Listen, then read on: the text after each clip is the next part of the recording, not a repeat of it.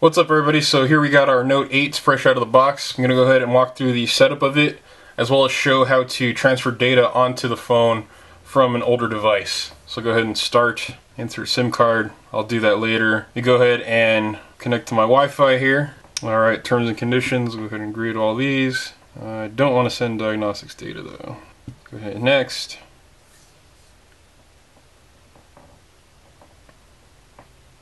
Okay, so go ahead and put in your Google account.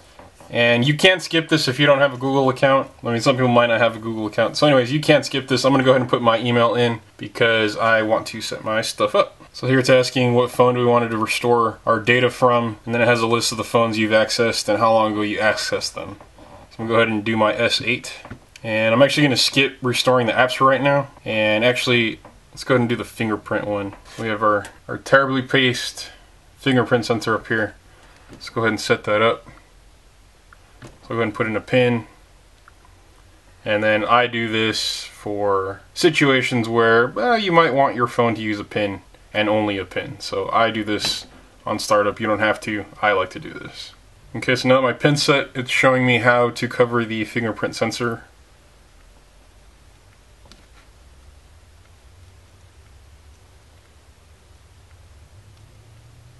I can already tell this one is going to be kind of terrible in the same way that the one on the S8 is terrible.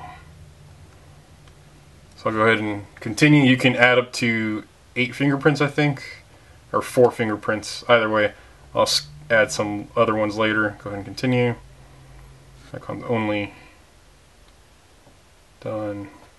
Next. So this is asking you what Google services you want on or off. I'm going to go ahead and leave most of these on, except I don't turn this on usually. Hit next, and then you can set up the Google Assistant if you like. So this is all Google stuff. If you skip this, uh, you'll be able to still do the Samsung backup, which once it goes through this, it's probably going to ask for Samsung account login, and that's where I will do the app restores from my S8. Your Samsung account um, sign in is also going to let you set up Samsung Pay and all this other good stuff. If you want to do themes, you're going to need this. You can skip this, but I'm going to go ahead and sign into my account. Okay, so now that we've signed into our Samsung account, it's asking us where do we want to get old content from. If you use Samsung devices previously, you can use the Samsung Cloud if you had that set up, or you can use Smart Switch, which will work with most any phone. Go ahead and select that. Okay, so here we see supported old devices, anything Android 4.3 and higher, iOS 5 and higher, and BlackBerry 7. So we're going to need this guy. This is going to go on our new phone. And then whatever device you have, use the charging cable from it to connect from here to the new phone. So plug in our USB cable over here, and then the Type-C side will go into the Galaxy S8. Again, this will work with any device you have. I've just been using my S8 a lot lately. Okay, so now that we have those connected, we see allow access on allow access to phone data. You're going to want to hit allow. And so because they're both Galaxy phones, it knows it's a Galaxy device. But even if it weren't, it would still know it would still get a pretty good idea of what device it was. So I'm not going to do I'm not going to do contacts since that's going to get pulled from my Google account.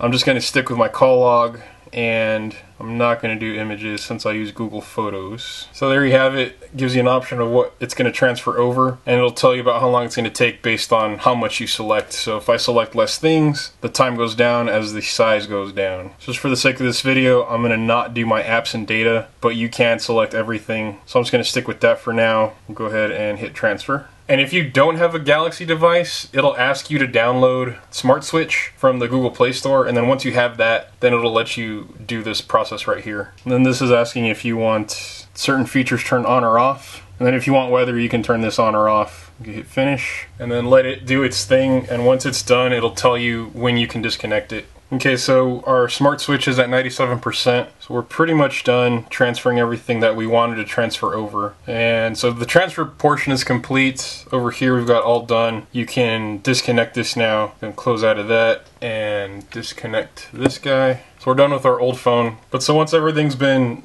moved over from the other phone, it's going to start processing through the data and updating, for example, like mine, it's updating the call logs, it's updating my messages, it's updating my alarms and so that's kind of what's happening right now.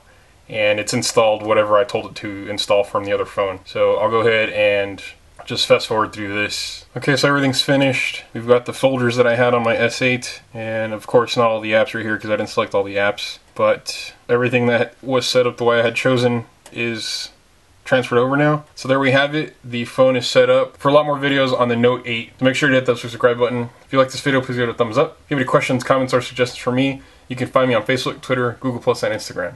So until next time, keep it here for more Note 8 videos. Take care.